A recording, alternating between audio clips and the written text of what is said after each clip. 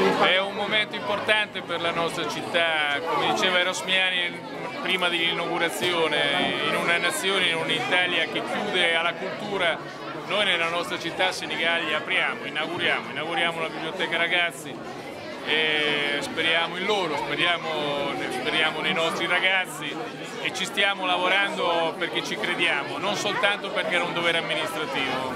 Da qui parte il futuro della nostra cultura, da questo spazio ragazzi parte, parte il nostro futuro.